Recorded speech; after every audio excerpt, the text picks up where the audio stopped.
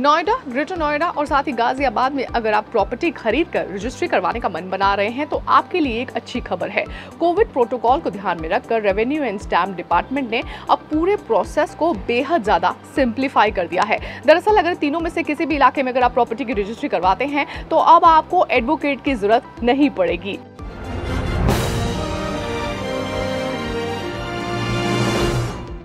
Hello and welcome to property matters. I am Shilpi Tudeja.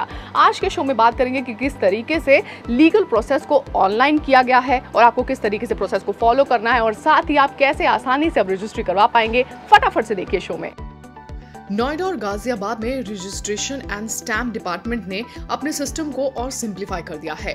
अब से पहले property की रजिस्ट्री करवाने के लिए एडवोकेट से अगर कागजात बनवाने की ज़रूरत आपको पड़ती थी तो अब ये नहीं पड़ेगी।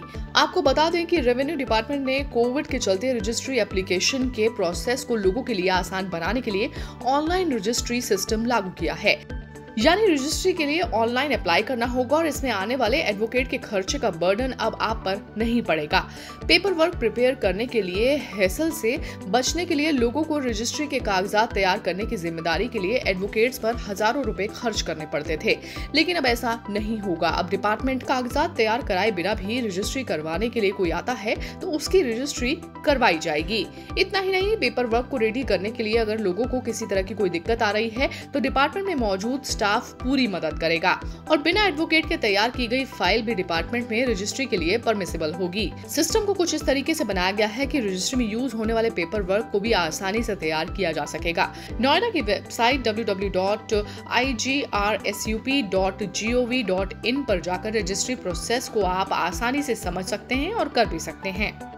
गवर्नमेंट बहुत तवज्जो दे रही है कि सब कुछ ऑनलाइन हो जाए। ये एक क्लिक पर वन क्लिक पे सारी चीज़ें जो है खुल जाए। अब आपको समझाते हैं कि एडवोकेट के बिना ये सिस्टम कैसे काम करेगा। सबसे पहले सिस्टम में ऑटो जेनरेटेड सबलीज में प्रॉपर्टी बायर और प्रॉपर्टी सेलर की डिटेल भरी जाएँगी। रजिस्ट्री की सबलीज सीधे डिपार्टमेंट और रजिस्ट्री करवाने वाले बायर और सेलर मिलकर फॉर्मेट के हिसाब से ऑनलाइन तैयार कर सकते हैं। रजिस्ट्री के लिए प्रॉपर्टी रजिस्ट्रेशन प्रोसेस में प्रॉपर्टी की वैल्यू स्टैम्प ड्यूटी पेपर खरीदने, ज़मीन या प्लॉट बेचने और खरीदने के कागजात बनवाने में एडवोकेट की ज़रूरत पड़ती थी। अब ये सब बायर और सेलर खुद ही मिलकर कर पाएँगे। गवर्नमेंट लेवल के निर्देश के हिसाब से रजिस्ट्री डिपार्टमेंट अपने यहाँ ये पूरा प्रोसेस लागू कर चुका है। कोविड के चलते सिस्टम काफ़ी फास्ट और इजी किया गया है ताकि लोगों को आसानी रहे।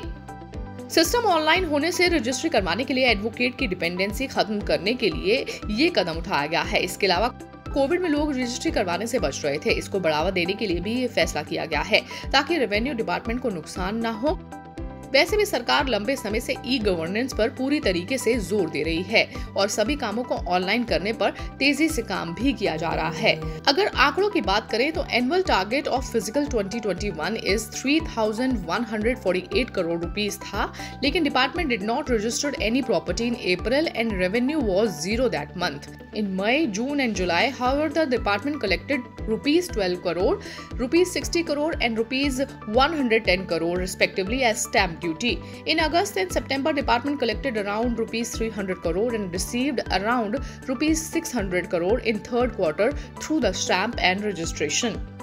हाल ही में गाजियाबाद में एडवोकेट्स की स्ट्राइक के चलते भी यहाँ पर रजिस्ट्री के काम पर बेहद बुरा असर देखने को मिला था। यही वजह है कि यहाँ पर ये दिशा निर्देश दिए गए हैं कि ऑनलाइन ही अब पूरे प्रोसेस को फॉलो किया जाएगा ताकि एडवोकेट्स की डिपेंडेंसी खत्म हो जाए। आज के शो में बस इतना ही, लेकिन एमबीटीवी आपसे यही गुजारिश करेगा कि आप घर पर बने रहें stay at home stay safe लेकिन इस वीडियो पर लाइक शेयर कॉमेंट करना ना भूलें। मुझे ट्विटर पर इंस्टा पर और साथ ही फेसबुक पर भी फॉलो ज़रूर करें। मैंने अपना हैंडल नीचे दिया है। है thanks for watching property matters cameraman Nitin के साथ शिल्पी टुडेजा एम Please subscribe to Magic Bricks on YouTube and click the bell icon to get new videos.